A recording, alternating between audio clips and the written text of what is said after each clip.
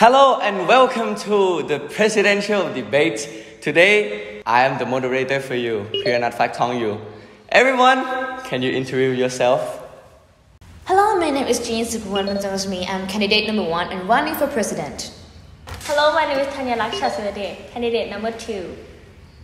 Hello, my name is Vishanya Nuturi, candidate number three. Hello, my name is Jidapa Tharatanawat, candidate number four. Let's move to the first question. The economy has grown slowly in recent years, and one of the reasons is a prolonged slump in a productivity growth. What step would you administration to take to encourage innovative and investment? Well, slump productivity growth caused by many issues. In order to increase productivity, each worker must be able to produce more output. This is referred to as a labor productivity growth. The only way for this to occur is through an increase in the capital utilized. In the problem process, this increase can be in the form of either human capital or physical capital. We are an agricultural country, so we should support farmers to transform their products, to increase the value and sending people who know how to transform the product well to be an advisor. Promote research and development of innovation, creative uh, of value, increase the agriculture, industrial and service sector, and promotion for of small and medium enterprise as well as promoting fair competition and reducing inequality, economic and public. Innovation is vital to development of an organization. Local and county is the success of local organizations and county that must arise from innovation one way or another, whether it is an innovative product, working success, service management or marketing and for the organization to be able to continually succeed innovative must emerge. In my opinion, I think that we should use like some technologies to improve our economic problems. For example, nowadays people consider resources issues as an important one. So it will be better to use like a discipline that can meet the economic demand and also help preserve resources as well. Okay, thank you for the answer, everyone. Okay, let's move to the second question.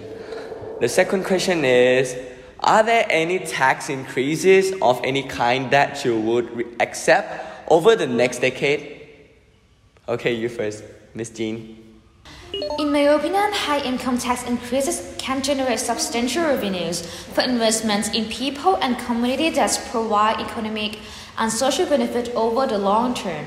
Raising personal income tax rates has allowed states to prevent or minimize harmful budget cuts or invest in ambitious new initiatives such as expanding early education, boosting access to college, improving infrastructure, and strengthening rainy day funds to prepare the next recession. Evidence indicated sustained support for public building blocks of growth can help states improve their residents' well-being, expand opportunity and racial equity, and build more prosperous economic over time. Collect the empty land tax. Increase the percentage of tax taxation of people who earn more than 5 million baht per year. And reduction the percentage of taxation of people who earn less than 300,000 per year. Tax increase on public utility to improve equality of life efficiently across all countries, not just one sector. Therefore, I view that the utility tax hike is a tax hike that is worldwide for the people to provide people with a more easy equality of life. Yes, I'm thinking of increasing the land tax. Most of Thai people always buy immovable properties, such as land. Some of them use it for business, but some of them just buy and live it. So I think that we should, it will be valuable when people use it to develop the economy. And if we decide to increase the empty land tax, I think that it will provoke people to use that space for that business and don't leave it desolate. Thank you. Okay, the third question is Energy is one of the most influential sectors in recent years, so optimal management of this sector will be of great importance. In your opinion, what will be the energy management issues in the future? Okay, yeah, go ahead. Energy conservation and management is a practice of decreasing and managing the quantity of energy used. It may be achieved through efficient energy use, in which case energy use is decreased by achieving a similar outcome, or by reduced consumption of energy services. Energy conservation and management may increase financial capital, environmental value, national security, personal security, and human comfort. Individuals and organizations that are direct consumers of energy may want to conserve energy in order to reduce energy costs and promote economic security. Because of the increase of energy needs, I expect the critical issue are energy security and cost. Before energy efficiency, energy allocation management is a necessity. In many developing countries, the city's electricity infrastructure are at up, while those of the rural areas remain the same or not in good conditions. Strong approaches such as microgrid, availability with decentralized renewable energy sources can pull the energy demand in the rural sectors and thus can help in reducing the burden on the grid operations. Energy is something we need to use in our daily life, and yes, it is necessary for our life. But I will encourage innovation to replace the near depleted energy campaign for people to see the value of energy and save energy consumption to reduce global warming as well. The transition to renewable energy resources and energy efficiency have become a central topic. Also for the producing industry in Romania and all the over Europe. Saving energy is on the agenda for companies as well as facilities and public institutions. Energy management systems are decided to monitor, optimize, and control the smart grid energy marketing. Demand side management, considered as an essential part of the energy management system, can be enabled utility market operator to make better management. Oh, that's a good answer, everyone. Yeah, let's move to the next question. Should we close company that produces greenhouses gas? Well, actually, closing the company that produces greenhouse gases is not the solution. An effective solution is companies have to invest in carbon reduction program while enhance their profit margins, expand their business portfolios, and create new markets for climate-friendly products and services. Still, more companies need to adopt stronger policies around carbon reduction and clean energy if the country is to have a meaningful role in the reversal of decades of gradual climate warming the scientists predict could lead to permanent changes to ecosystem and alter the lives of billions of people. Yes, we have already seen some critical change in the climate due to the greenhouse effect. Greenhouse gas cause global warming, increase CO2, and rising water levels that make millions of lives in danger. In my opinion, I don't agree with the shutdown of greenhouse gas company, but reduce the presence of industrial greenhouse gas plant. I think that we shouldn't close the company, but we should discuss the problem with each company. Like some companies are located near the houses, and when the factory produces gases, it affects people who live there. In this case, we need to discuss with the factory or company to do like some charities or make some more green area to compensate for on producing the greenhouse gases.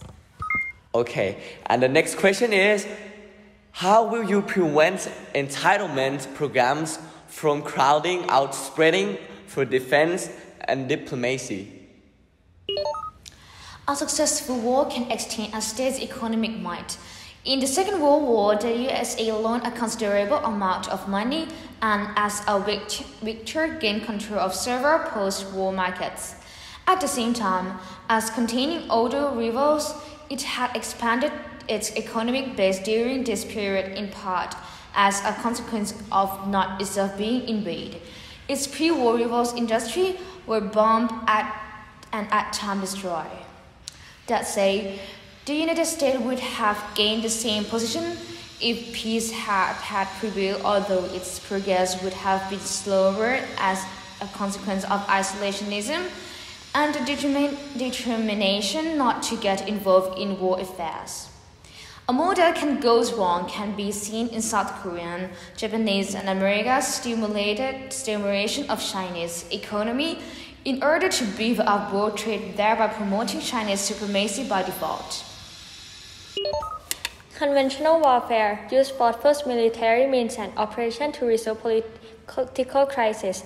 The economic war involves relatively softer means of pressure to change unacceptable policies.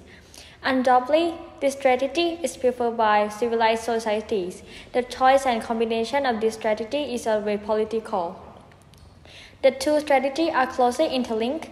Economic contradictions are the dominant, though not the only, cause of conventional conflicts. However, the results always lead to two different affect the country involved. The winners gain and the loser lose the results. They when choosing an appropriate strategy, decision makers must take into account their limited resources to achieve the desired goals. Thus, conventional war is not without its economic grounds. Conventional warfare uses forceful military means and operations to resolve po- political crises. The economic war involves relatively severe means to, of pressure to change unacceptable policy. Undoubtedly, this strategy is preferred by civil society. The choice and combination of these strategies is a way political. The two states are closely interlinked. Economic contradictions are the dominant cause of conventional conflict. Conventional warfare and economic warfare are applied in different ways. Economic warfare requires a joint up approach that is not subject to typical partisan conflicts. As well, more so than conventional warfare a greater degree of political trust in the military leadership is required with conventional warfare and those on the battlefield need to have confidence in the political leaderships, as do those who are at home and not fighting Conventional warfare is waged against a budget and therefore political and financial pressures. It is a likely economic warfare with result in casualties. Economic warfare requires a political appetite to exert influence on the country and its population in ways that might oppose the Geneva Convention and the result in breach of international law. All right, okay, let's move to the next question. How do you think foreign media affects the country? First of all, global media helps spread the message of human rights and democracy. In a way, it's planted the seed that an alternative to living under dictatorship was not only possible but also successful in other countries. And second, global media, especially social media, may have helped incite or sustain the Arab Spring as it may have been used as a way to coordinate protest activities. And the third, global media helped spread the message about such protests to neighboring countries and those across the world. The initial success of one protest burst in the media may have helped ferment the start of a protest in a different country as a result. Foreign media will affect in a good way. Foreign culture will publish in our country and we can use it to develop something in the better way. Foreign media allow our people to learn about the culture and news of foreign countries or something if their country having problems we can help them through the media. It is one of the big subsystems that affect the country. People learn, read, and see many things on social media. So people will follow what the people on social media do, and they will forget like their conventional tradition, for example, dressing or lifestyle. When they see like people doing something or dressing something on social media, they will follow them without thinking anything. Thank yous for the answer. Okay, the next question is nowadays there is a problem of inequality, but many groups have said that this is not a problem. So I want to ask that is quality problem is real? The inequality problem is real and it's happened everywhere. Inequality is more than a money matter. Inequality is unethical. It crushes the basic principle that every person should have equal opportunities. It is also the root cause of many structural problems in society. The lack of social and political stability, the low quality of democracy, the fledged trade and human trafficking, crime, corruption, these social evils are different manifestation, manifestation of structural problems that share the same roots cause inequality. Problem of inequality is a big problem. So I will give some example. There are a lot of people that cannot afford the tuition because of the family financial and many can success the dream that they want. People who said that inequality is not a problem because they have never encountered to the problem like them. The problem of equality exists in every social and country. I cannot deny that there is no problem. Who say inequality is not problem mean that they do not understand the equality is a problem that prevent country from developing.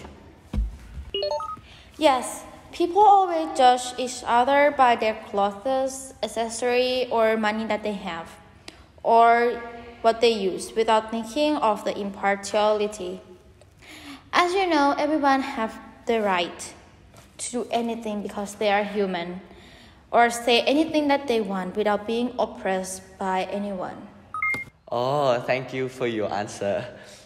The last question is Is PETA really help protecting animals from abusing? Well, according to my research, PETA is more widely known for its protest and media campaigns to draw attention to animal suffering than for this riverside shelter. And some the, in the animal welfare community deemed the group to the radical. Uh, the high euthanasia rate at its shelter the only one it operates seemed to manage to run counter to this mission. And in 2014, according to its own records, it took in 3,017 animals, about 1% of the total number brought to private Virginia shelters. Of those, PETA euthanasia 2,455 or 81% in some period years that rate has risen above 90%. In my opinion, PETA help animals by sterilization and giving veterinary care, often free of charge, but there still have animals that have been abused. Example is kicking, burning, stabbing, beating, or shooting. That means I think that PETA is not help enough. I think it helps, but anti-animal abuse does not go away.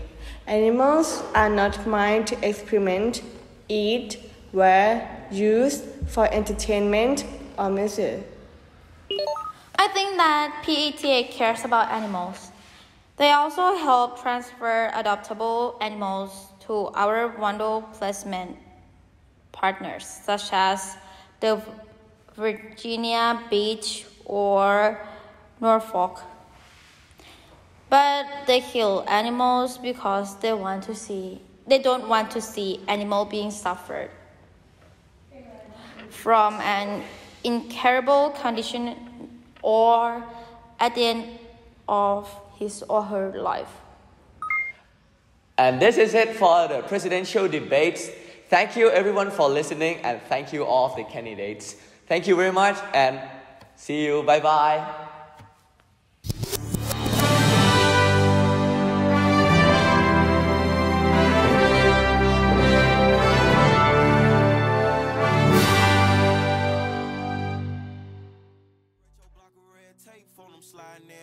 Bunch of hollows spitting out the Glock. I've been serving fiends all day, out there posted with the gang, nigga. We was taught to get it off the block. It's a hundred bands in the safe, now I got expensive taste. Mike Amiri jeans, fill them up with knots.